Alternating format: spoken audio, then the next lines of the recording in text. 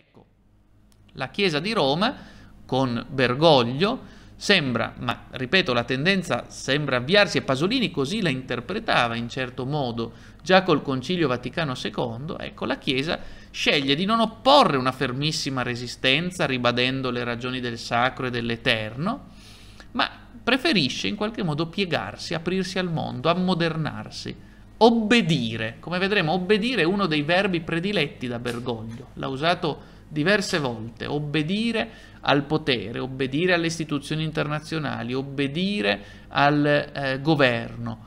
Ora, da un punto di vista cristiano, eh, il Papa non può obbedire all'imperatore.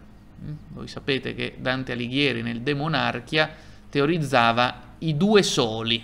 Mm? Il Papa e l'imperatore sono due soli che splendono di luce propria e che eh, dipendono egualmente da Dio, sicché non può darsi una subordinazione dell'uno all'altro.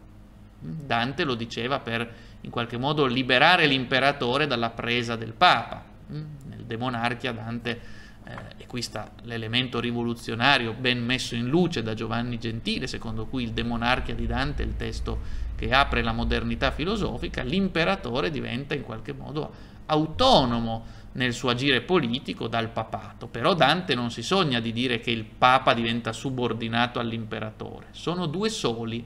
Ecco, oggi sembra che di questi due soli uno si spenga, quello della, del papa che sceglie di obbedire al potere.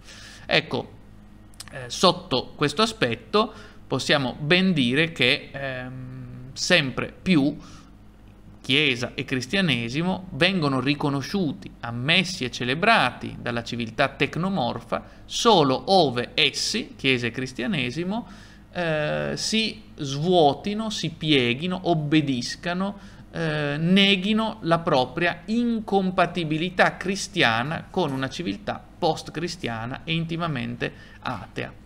Insomma, la Chiesa si nega per essere accettata, il cristianesimo evapora per poter essere tollerato.